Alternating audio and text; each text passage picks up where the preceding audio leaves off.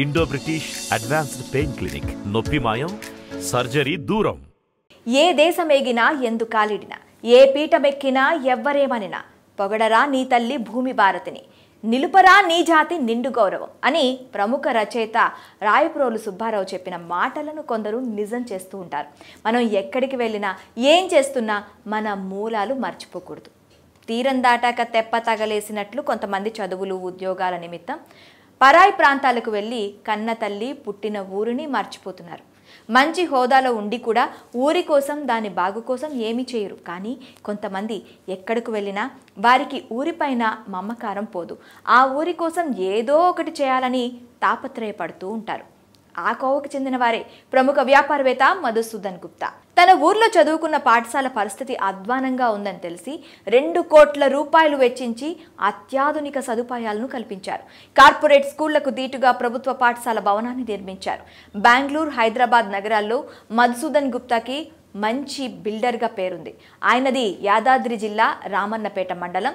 ఇస్కిల్లా గ్రామం. ఈ గ్రామంలోని విద్యార్థులు అరకొర వసతులతో అవస్థలు పడుతున్నారని తెలుసుకున్న ఆయన తన సుమధుర ఫౌండేషన్ ద్వారా పాఠశాల అభివృద్ధికి నడుం బిగించారు. సేవా కార్యక్రమాలు అంటే మక్కువ ఉండే ఆయనకు తన గ్రామంలో విద్యాసేవ కార్యక్రమాన్ని ప్రారంభించారు. అన్ని సదుపాయాలతో కూడిన పాఠశాల భవనం నిర్మించారు. ఇందుకోసం రెండు కోట్ల రూపాయలను వెచ్చించారు. విశాలమైన తరగతి గదులతో పాటు computer science lab digital library dining hall రెండు అంగన్వాడీ కేంద్రాలకు భవనాలు వంటగదులను నిర్మించారు. మూడు లక్షలతో డిజిటల్ తరగతి గదులు గ్రీన్ బోర్డులు క్రీడా సామాగ్రి లైబ్రరీలో యాభై వేల రూపాయల విలువైన పుస్తకాలు ప్రొజెక్టర్లు వాటర్ ట్రీట్మెంట్ ప్లాంట్ వంటి సదుపాయాలను కల్పించారు.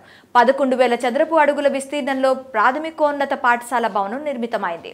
అలాగే ఉన్నత విద్యాభ్యాసం కోసం గ్రామాల నుంచి ఇతర ప్రాంతాలకు వెళ్ళే విద్యార్థులకు సైకిళ్ళు కూడా పంపిణీ చేశారు. ఇక హైటెక్ హంగులను అద్దిన ఈ సర్కారు బడిని మంత్రి జగదీష్ రెడ్డి ప్రారంభించారు.